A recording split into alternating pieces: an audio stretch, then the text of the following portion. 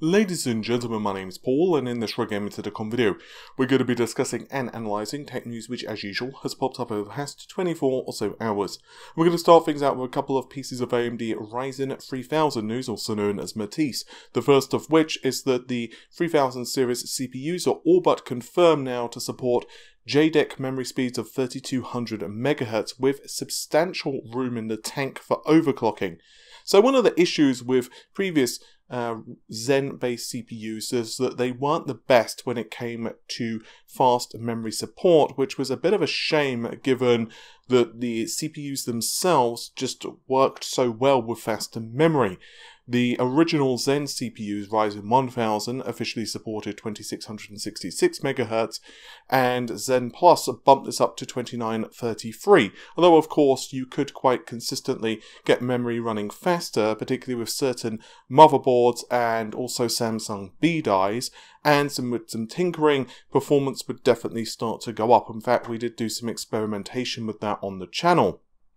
But one of the leaks that I got fed fairly early on actually was an exclusive, along with lots of other X570 information, was that AMD were officially planning to support 3200 MHz, but once again, with support for faster memory just via overclocking. And uh, on Twitter, we have an image from user Momomo. This image appears to originate from some motherboard vendor, and if we explore the image, the image states that there is a dual channel memory support, not surprising given it is Ryzen, and four DDR4 memory slots, but critically we have Ryzen series CPUs, which are Matisse, supports 4400 MHz overclocking, 4200, 4266, and so on and so on down the stack. But it also states that, uh, yes, JEDEC 3200 MHz. The reason this is almost certainly a motherboard vendor image is well, A, the layout, and B, at the very bottom you can see that there is a gold contact in DIMM slots uh, line, which is obviously usually uh, something you would associate a motherboard vendor to say to uh, indicate that their RAM slots are of the good qualities. We also have a small update concerning the X570 chipset. I say a small update because much of what I'm about to talk about in this diagram has been discussed a couple of days ago, but this newest diagram uh, actually provides the information in a much nicer way compared to the old one. The old image looked like it was from some type of motherboard vendor as well, possibly something that you would see in one of their manuals, but the latest image has actually been posted by HKEPC and it looks more like an official AMD slide and definitely the platform map is a bit easier to read. With Pro Promontory, there was definitely an issue when it came to downstream PCIe connectivity. The X570 chipset appears to address this, and now we have 16 downstream PCIe 4.0 lanes. Indeed, all of the lanes here seem to be fed via 4.0. There's little to be said that's not demonstrated rather nicely by the image. Obviously, the 3000 series CPU directly connects to the memory inside the system. We also have a direct connection to the USB 3.1 Gen 2, as well as the audio connection. There is a direct link to a PCIe times 16, which is uh, generation 4. So this is either a times 16 or a times 8. It depends on whether you're using one or two discrete GPUs. I suspect that most gamers are probably going to want to stick with one discrete GPU, but obviously your setup may vary.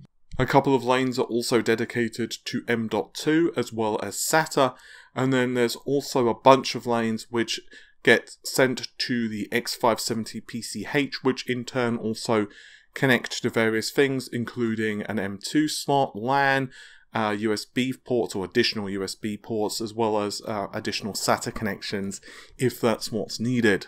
As you're no doubt aware, AMD are leveraging 7nm from TSMC, but the successive generation to Zen 2 will actually be using the 7nm plus node according to AMD themselves. There's been a really interesting statement from TSMC, and that is that they are ready for volume production on 7nm plus.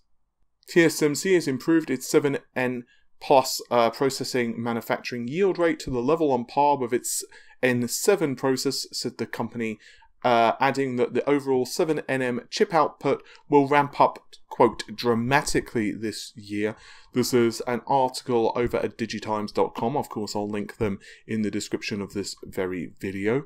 And also TSMC on track to move a, to a newer 5nm process to volume production, and that will take place in the first quarter of 2020. That's according to Kevin Zhang, who is the company's VP of Business Development. And accordingly, TSMC will also be adopting EUV extensively for the 5nm process, which it's already moved the node to risk production. Finally, let's discuss some PlayStation 5 news. It's going to be a really interesting next year, I think, for the consoles. I'm actually really excited to see what both Sony and Microsoft are going to be bringing to the table. But one of the things that Sony have confirmed for the PlayStation 5 is that the system will be backwards compatible with PS4 games, and it does that by apparently spoofing the hardware of the older console. Uh, I've discussed that at length previously, but it does mean that almost perfect backwards compatibility with the PlayStation 4 system is basically what Sony are aiming for. To this end, Jim Ryan over at PlayStation has confirmed that if you are wanting to play a multiplayer game that was on the PS4, it will run on the PS5. This is great. This means that if your friend Bob has a PlayStation 4 and you and he really enjoy playing a game together and you own a PlayStation 5, you don't need to worry about keeping your old console. You can simply plonk in the older title and play it with backwards compatibility on the PS5, which is really cool. I kind of expected that this was going to be the case, but it's nice that Sony have officially confirmed this information. And it's going to be really interesting to see how Sony and their one console strategy uh, pays off against Microsoft with what appears to be a two console strategy. There have been a couple of whispers that maybe Sony will go a PlayStation 5 Pro route, and I think that that will happen. Uh, I think that it's going to not be at launch though, so I think that we're going to see the PS5 launch in 2020, most likely anyway, that's the target release date, and then maybe a year or two later on, we're going to see the PS5. Microsoft, though, are launching two SKUs. Um, and obviously, all of the specifications we've heard thus far are still up in the air. We don't know, and because the consoles are still in development, it's possible that specs could increase or decrease.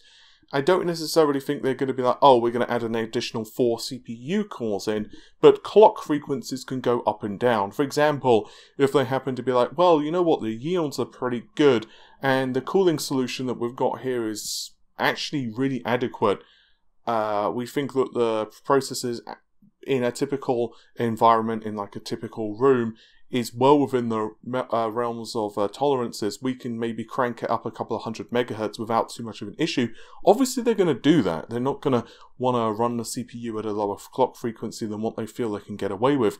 Microsoft do have one advantage over Sony, and that is that they can afford to essentially not make so much profit per console and worry about their ecosystem. Oh, and there is a small piece of Gears of War 5 news as well. It appears to be from an official Microsoft source and it's leaked online, and that is that Gears of War 5 looks like it will run at 60 FPS at 4K. The wording does appear to be not a up to or or 4K or 60 FPS. In other words, it seems to be both simultaneously.